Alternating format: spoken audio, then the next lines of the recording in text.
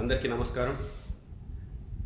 రెండు రోజుల క్రితం నంద్యాలకు చెందిన ముస్లిం సోదరులని మన కర్నూలులో ఉన్న రాయలసీమ యూనివర్సిటీకి అలాగే ఏపీ మోడల్ స్కూల్కి క్వారంటైన్ చేయడానికి తీసుకెళ్ళిన విషయం మనందరికీ తెలిసిందే. వీరందరూ కూడా ఢిల్లీలో జరిగిన జమాత్కి వెళ్ళొచ్చిన వారు. అయితే కొంతమందిలో అప్పుడే ఒక ఒక రూమర్ ఉంది. వీళ్ళందరూ కోవిడ్ పాజిటివ్ టెస్ట్ అయినారంట అని చెప్పేసి కొంతమంది నన్ను అడిగితే నాకు చాలా ఆశ్చర్యం అనిపించింది. నేను ప్రజలందరికీ కూడా ఒకటే చెప్పదలుచుకున్నాను.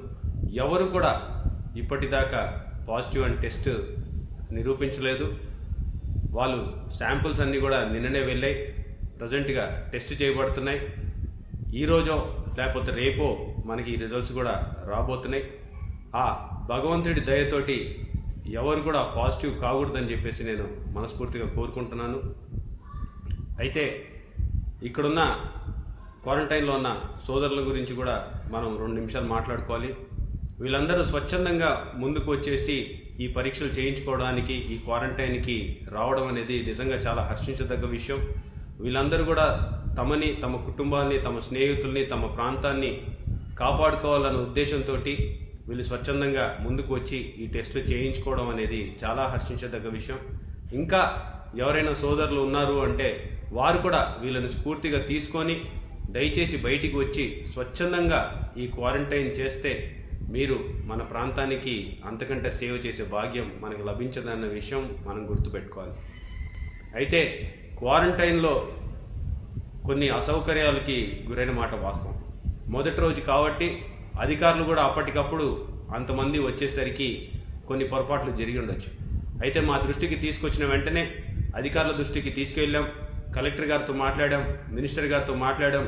నెక్స్ట్ డే నుంచి ఒక్కొక్కటిగా ఒక్కొక్కటిగా అవి సర్దుకుంటూ వచ్చాయి.